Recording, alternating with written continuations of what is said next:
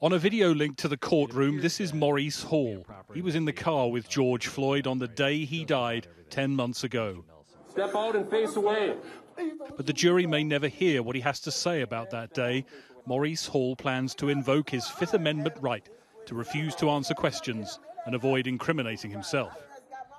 The judge will decide if it's worth calling him as a witness at all. You swear or affirm under penalty of perjury that the testimony you're about to give will be the truth and nothing but the truth. Yes, Your Honor. Have a seat, please. The jury has continued to hear from former colleagues of the officer accused of Mr. Floyd's murder. Johnny Mercil trained Derek Chauvin in use of force. Restraint, he told the jury, had to be proportional to resistance. What about a knee on a suspect's neck?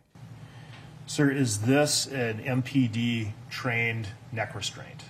No, sir. Has it ever been?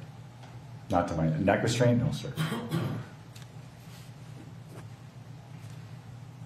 Is this a MPD authorized uh, restraint technique?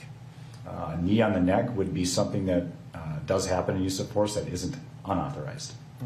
And under what circumstances would that be authorized? How long can you do that? I don't know if there's a time frame. It would depend on the circumstances of the time, Which would include what? The type of resistance you're getting from the subject that you're putting the knee on. And so if there was, uh, say for example, uh, the subject was under control and handcuffed, would this be authorized? I would say no. The knee is on his. Derek Chauvin's defense showed this image from a training manual illustrating the use of a knee while handcuffing a suspect. Very different, the officer said.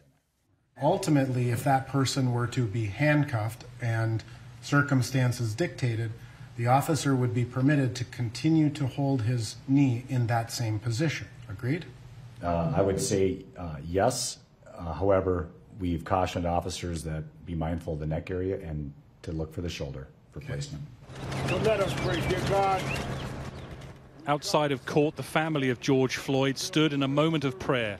This trial has been difficult to watch. They know it is the process of justice they've demanded. Greg Milam, Sky News, Minneapolis.